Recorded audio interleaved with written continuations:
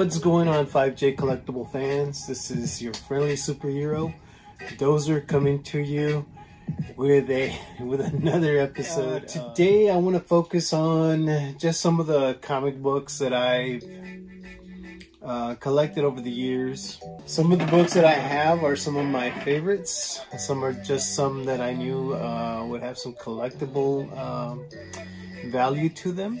Let's get started. I wanted to show you guys the silver embossed cover of this Wildcats number 7 really quick. Kind of hard to see because it's shiny with the light. It's such a cool Wildcats issue and a beautiful cover done by Jim obviously. Here's a proof of the comic book uh, before it came out we get the front cover and back cover. Really cool. Kind of personal to me because I was uh, co-directing, co-coordinating the Killer Instinct tour, so it's really nice to have this. I actually have several copies of this. And this is the inside and the back cover inside of what it would look like. So this is a really cool collectible item. I don't know if you guys are interested in it, but if you are, email me at 5jmcollectibles at gmail.com. Again, that's 5jmcollectibles if you're interested in one of these really cool cover proofs of this issue. Next is this gold embossed Wildcats number six cover. Also part of the Killer Instinct Tour crossover with uh, Cyberforce. That's a really, really nice cover by Jim, of course. Beautiful collectible item.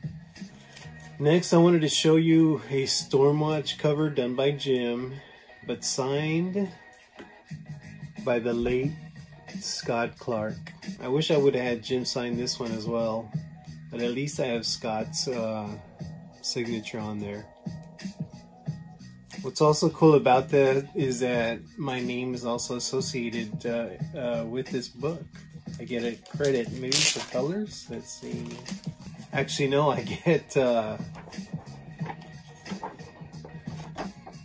you can see there background Incasis Joseph Mendoza right there.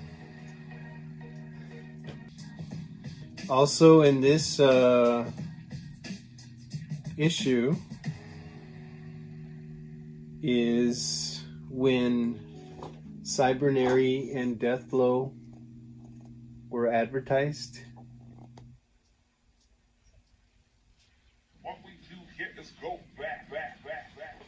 That was so cool, so special because as you know, I was the acting editor on uh, Cybernary here when Nick Manabat, the late Nick Manabat was drawing it.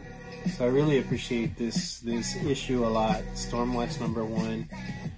Here's an interesting book where um, the biographics and uh, you can tell who these guys are the birth of Image Comics. it's a black and white comic book that was done kind of interesting in the lower left hand corner there or right hand whichever way you're looking at it. You can see the the seven members drawn into uh, the book. The image members there. Kind of a really cool piece to have. Piece of history you guys recall this gem here, Jeff Scott Campbell's um, entry into the comic book world, Gen 13. The cool thing is that he signed it for me too. Personally signed it for me.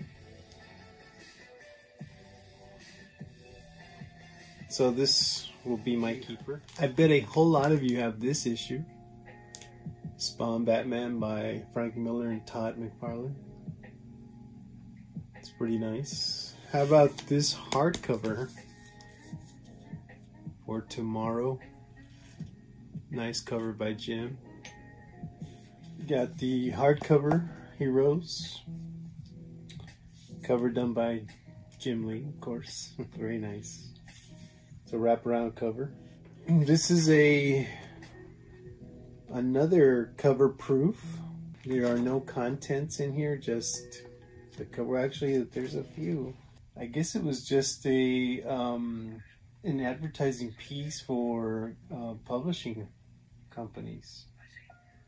It, tell, tells you all the titles that are coming out on, on the first week of May. A signed Wildcats number one by the man himself, Jim Lee. Very nice piece. Will I sell it? Possibly. 5JM collectibles at gmail.com. Send me um, a message and we'll see what we can do. believe I've actually shown this um, in a prior video, but I had to show it again. Very nice um, signatures by a lot of uh, great people. Very well known right there, Scott Williams. We've got the late Scott Clark right there. Got Chido Man up here. Got Brett Booth. We've got Campbell. Got Alex Garner. JD. Ryan Benjamin. We've got Alex Sinclair. Sal Regla. Uh, Marc Silvestri right right through the cover. Marc Silvestri signature. I know a lot of you have this book. I got this from Jim. He actually uh, signed it for me, and uh, he had it on his desk at when I went to visit uh, the DC studios with Wills. So he had it on his desk, and I was looking at it, and he says, "Do you want it?" I said, "I didn't want to seem desperate, but I said, I've, you know, I would I would appreciate it." And he's and he went ahead and signed it for me, along with other things. He signed my uh, WonderCon Batman shirt as well. But this is really cool uh, that he did that for me.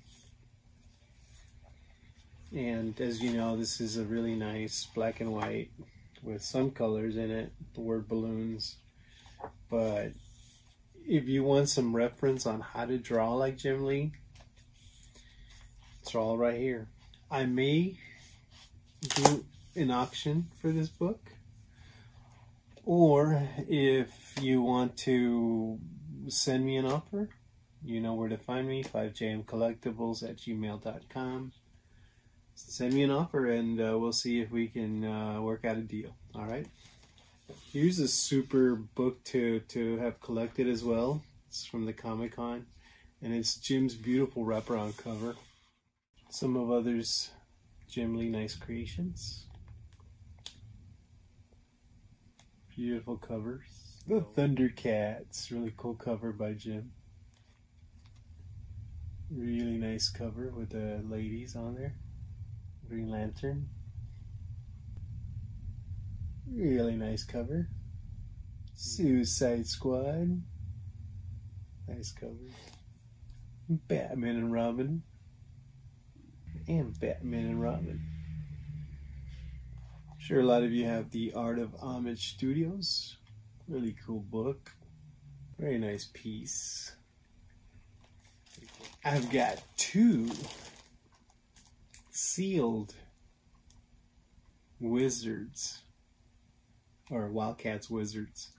Send me an email if you're interested in uh, these books that are sealed completely. And who doesn't love Jim's Punisher War Journal run? Nice, nice cover. A lot of great art too. With Spidey. That's a nice piece too. The Punisher Armory. Here's an early Jim piece. Nice Wolverine Punisher piece. And we've got some Alpha Flight by Jim another Alpha flight. Lots of freaking drawing that Jim did and is still doing. I want to thank you all for your patience. We're all going through the Corona COVID-19 uh, virus lockdown.